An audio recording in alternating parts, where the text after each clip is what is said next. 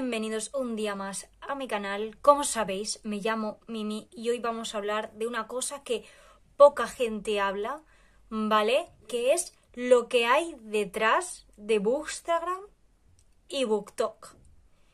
No todo es bonito como parece para estas redes sociales y si no hablas de lo que todo el mundo habla, pues te quedas te quedas abajo.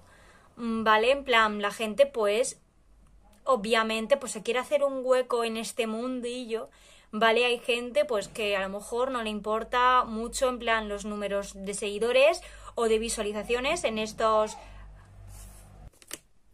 y bueno, pues hay gente que le importa más, otra gente que le importa menos y ¿cómo hacen para llamar la atención? Pues hablar siempre de los mismos libros, novedades. ¿Vale? No todo el mundo a lo mejor habla de novedades porque no a todo el mundo le gustan las novedades que salen. Por ejemplo, depende del género. Yo ya he dicho en otro vídeo, bueno, en el anterior, que no me gusta el género romance. ¿Qué pasa? Entonces yo no consumo este tipo de historias, ¿vale? O novedades que todo el mundo consume. ¿Qué pasa? Pues que como tú no hablas de este, de esas novedades que van saliendo, o te las compras el mismo día que el libro sale, y subes la publicación con la novedad y todo, pues te vas hundiendo, por así decirlo. Si a lo mejor subes una reseña de un libro que hace tres años lo han publicado y tú te lo has leído ahora, tú dices, bueno, esta reseña es un libro que poca gente a lo mejor eh, se acuerda o, bueno, voy a darle más reconocimiento porque ahora todo el mundo está con las mismas novedades. Pues bueno, tu reseña se queda muy muy anticuada, porque el libro lo, salió hace tres años, se lo ha leído toda la gente y a lo mejor en ese momento ya habían dado boom y vuelve a salir ahora. ¿Qué pasa? Que yo me acuerdo que hace muchos años, eh, antes de que fuera el boom de esta saga, ¿vale? Yo ya me había leído la saga de Acotar de Sarah J. Maas. Entonces, ¿qué pasó? Que después de yo hacerme, nada más hacerme el Instagram, de Bookstagram, ¿vale? Pues ya había gente que ya empezaron a darle, em, bueno, pues notoriedad a esta saga. ¿Qué pasa? Que yo ya me la había leído, casi no me acordaba de la historia, fue hace muchos años, y ahora pues le estaban dando mucho bombo, ¿vale? Y bueno, ¿qué pasa? Que yo a lo mejor sí que subí una reseña porque, bueno, eran de las que me gustaban. ¿Qué pasa? Que hay mucha gente que repite reseñas. En plan, no todo el mundo leemos un libro cada semana o algo así, vamos a nuestro ritmo y después hay gente que en un mes ha leído eh, casi 10 libros que dices tú, ¿cómo coño lo has hecho? ¿Sabes? En plan, esto. Hay mucho. Esto hablo de Bookstagram, ¿vale? Porque si no subes las novedades que todo el mundo está subiendo, ¿vale? Pues tu reseña se queda anticuada porque el libro que te has leído salió el mes pasado, o hace medio año, o a lo mejor no lo conoce ni su madre, ¿vale? Pero tú estás ahí, te ha gustado muchísimo ese libro, quieres dar tu reseña, tu recomendación, pero como no lo conoce ni el tato, pues nadie te va a hacer caso ni vas a llamar la atención. Y a mí lo que pasa es que, sinceramente, nunca me han importado los números, ¿vale?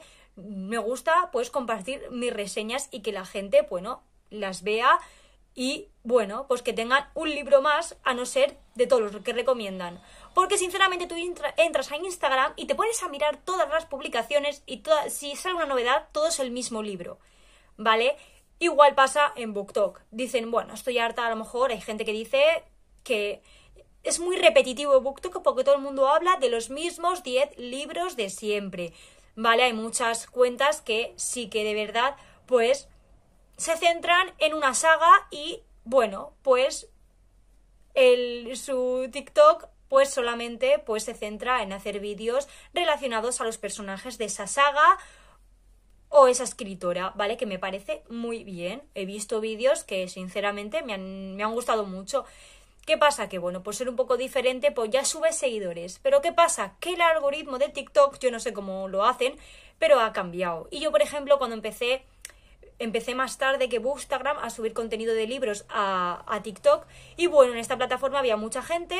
Eh, empecé a subir un poquito mm, demasiados vídeos. Y después cuando vas bajando pues ya pues el algoritmo dice desapareces. En plan eh, mm, yo no sé de un vídeo a otro cuando lo subes pasa de tener eh, a lo mejor no, no sé 500 visualizaciones en un vídeo normalmente mío ¿sabes? Dependiendo de que tenga a lo mejor casi 3.000 seguidores, pero las visualizaciones no son las mismas, no son ni la mitad, son 500 visualizaciones a lo mejor o 300, ¿vale? Un vídeo tuyo y después otro vídeo que subes a lo mejor lo enseña a dos personas, que me pasó a mí una vez que digo yo, no entiendo el algoritmo de TikTok, cada vez va peor. Vale, a lo mejor hago un vídeo sin ganas y sin nadie, a lo mejor tiene mil visualizaciones y digo, ¿qué ha pasado aquí? ¿Sabes? En plan, no me han importado, lo que pasa es que mm, no me gusta que ni la mitad de mis seguidores pues vean el contenido, obviamente. ¿Vale? Dependiendo del vídeo que hagas ese día, porque la cuestión es pasárselo bien con el contenido que subas y que te guste, ¿vale? No que sea presión social, que esto es lo que hay en, en Bookstagram y BookTok, es presión social, es todo presión social y si tú no te has leído esa saga que a todo el mundo le ha gustado o que a ti no te ha gustado, te come la mierda, vas para abajo, ¿vale? Y es como, no, si aquí lo que importa es que te guste lo que estás leyendo. Sí, pero cuando das tu reseña de que no te ha gustado una saga que a todo el mundo le ha gustado, ¿vale? Pues ya, pues...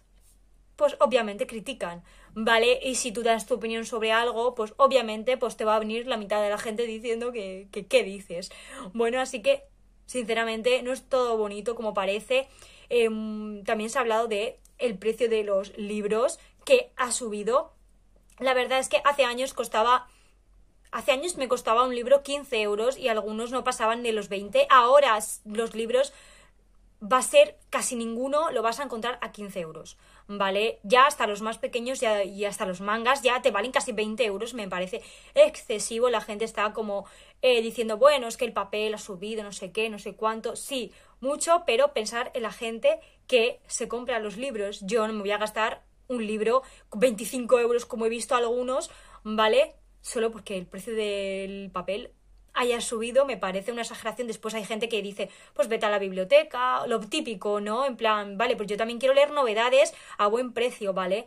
No la gente que se está quejando de que, bueno, si no tienes dinero te vas a la biblioteca. Sí, amiga, lo sé, pero tú, que a lo mejor tienes más seguidores que yo, eres más influencer, colaboras con editoriales, te salen a mitad gratuitos, normal que, que no te quejes, ¿vale? En plan, ya me gustaría a mí. Si por ese precio que me he comprado un libro que vale 25 euros, por lo menos quiero el mitad merchandising que te dan a ti, ¿sabes? Pues solamente por ese precio, ¿vale? Por eso es una cosa que me da mucha rabia y quería comentar, ¿vale? Que no todo el mundo tiene posibilidades de ir a una biblioteca, no les traen novedades, a lo mejor en la tuya sí, en la mía dependiendo sí que traen demasiadas para mi gusto, a mi parecer, ¿vale? Pero no todas tienen lo mismo. Wallapop, Wallapop es que te bajan dos euros el precio del libro y lo caso de envío te cuesta lo mismo que el libro nuevo, porque lo he visto. Incluso se aprovecha la gente de Wallapop para que tú compres el libro está más caro si tú no sabes el precio de ese libro, obviamente hay que mirarlo.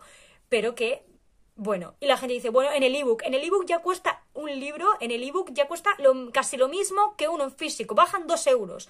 En plan, nada. Antes bueno, pues no te quejabas tanto, ¿vale? Porque por lo menos era más económico, pero es que ahora me parece una exageración, ¿vale? Sé que la gente, los escritores tienen que comer y de todo eso, pero piensen en la gente que lee, porque como suban demasiado los precios de los libros, al final cuatro gatos te van a comprar el libro y la mitad se lo van a bajar descargado ilegalmente, ¿vale? Por esto es lo que va a pasar al final y después os vais a quejar vosotros, ¿vale? Pues no, no es culpa de los escritores, es culpa de las editoriales, ¿vale? Porque no le dan el aprecio que le tienen que dar a los escritores, ¿vale? Porque contienen, en plan, se pasan medio año, más de un año en escribir el libro, en edit bueno, eh, bueno, corregirlo, después la portada, ediciones, todo, para después que ellos se lleven nada, un porcentaje que es un, es vamos, es que no es, es que no es nada, porque yo lo he estado hablando y he visto gente que está diciendo que no les dan ni mínimo la mitad. Después también hay escritores autopublicados.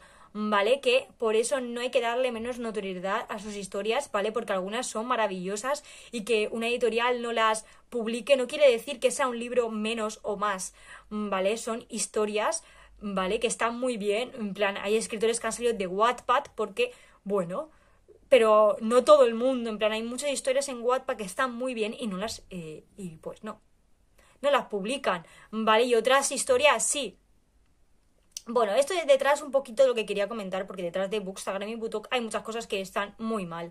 Vale, la gente pues compite por novedades, si hay gente que se puede permitir comprarse 10 libros al mes, se los va a comprar y te va a subir 40 fotografías, pero a lo mejor yo me puedo comprar uno, entonces no me da la misma visibilidad a mí, a mi contenido, ¿vale? Porque me he leído uno que me he comprado y a lo mejor 40 que he leído en un ebook, ¿vale? En plan, no da la misma el mismo reconocimiento tampoco a los bueno, a la gente que sube este tipo de contenido, ¿vale? Dependiendo del género también ya he dicho. Yo ando más por fantasía y thriller, entonces, ¿qué pasa? Que a lo mejor la mitad de mis seguidores, pues, les importa una mierda que yo lea thriller, porque a lo mejor a ellos les gusta más el romance.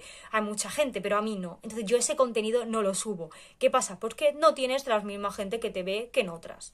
Así que, pues sinceramente me parece muy mal eh, que el contenido este se haga muy así, porque después ves a todas las cuentas que suben las mismas novedades, las mismas reseñas, porque obviamente se colabora, no vas a decir que un libro te ha parecido una mierda, ¿sabes? Pero bueno, pero desde el respeto se puede decir también que a lo mejor ese libro pues no te ha gustado o sí. Pero eso, base de las reseñas, hay gente que a lo mejor he visto cuentas que tienen un montón de seguidores y después su reseña no me ha parecido para tanto, a lo mejor es la foto que es muy bonita ya está. ¿Vale? Y a lo mejor tú te has currado mal la reseña que esa persona. Es que hay muchos casos, entonces es muy complicado hacerse en este mundillo. Mucha gente pues ha dejado su cuenta, ya yo he visto cuentas con muchos seguidores que ha bajado. En plan, se ha quitado la cuenta después de tener muchísimo porque no está cómoda con el contenido que sube o te obligan un poco por presión social a subir un contenido que a ti no te, no te gusta o no compensa con lo que estás haciendo. Así que bueno, es algo que quería pues recalcar porque es algo que la gente habla pero no lo visualiza ni lo dice en plan para que la gente lo sepa. ¿vale? Porque mucha gente lo habla por Twitter, por Instagram, la gente que me ha comentado, ¿vale? Entonces, todo el mundo tiene la misma opinión. En plan, no se hace en este mundillo porque a lo mejor su género o su bolsillo no le permite comprarse novedades que todo el mundo tiene o a base de influencers y todo eso, ese, ese contenido para hacer. Y me parece pues muy mal porque todo el mundo pues necesitaría su público, la verdad. Así que bueno, espero que os haya gustado mi vídeo, me comentéis qué os parece eh, mi opinión y si estáis de acuerdo con todo lo que hay detrás de este mundillo que nadie os cuenta de Bookstagram, BookTok y todo eso aparte también de los mal rollos que hay entre algunas cuentas, ¿vale? Que este año he visto mucho, mucho salseo, mucho drama, ¿vale? Yo no me suelo meter en nada, sinceramente. Doy mi opinión y si no te gusta, pues bien, y si no, pues también. ¿Sabes? Para gustos colores. Así que si os ha gustado este vídeo, dale un like, suscribirse a mi canal para más videitos como este y nos vemos en otro vídeo y espero que me dejéis un comentario con vuestra opinión.